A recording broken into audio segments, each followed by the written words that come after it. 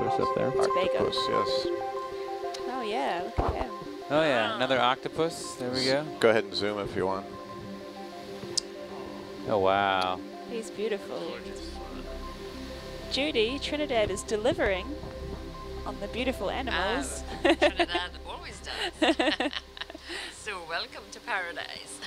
Another moment bought, brought to you by the 12 to 4 12 to 4 watch. Caribbean reef sharks, siphonophores, octopi, Stingrays. fields of mussels, Siphonophores, stingrays. Amazing siphonophore. Our current depth is 1,270 meters.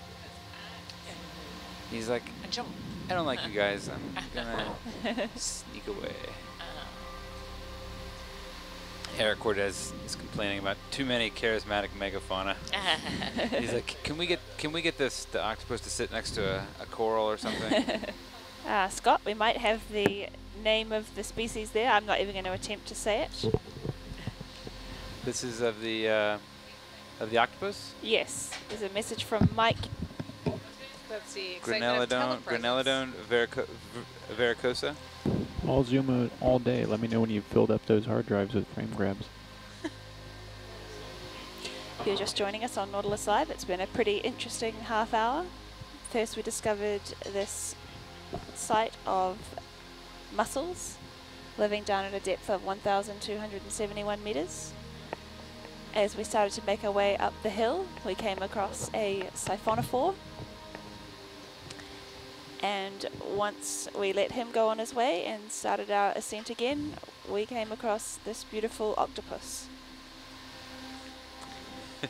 we think this is a Graneledone vericosa. I hope I'm saying that right. Varicosa, yeah. Of course, you know that that, that octopi and squid uh, and and uh, what are the other one? Cuttlefish. They can the, the the chromatophores that they have in their in their skin. They can change.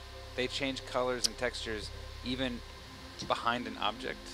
Like they can actually match the color of something. So it's like there's some sort of sensory perception too. No, I know. I don't. I mean, maybe maybe he's not. I don't know.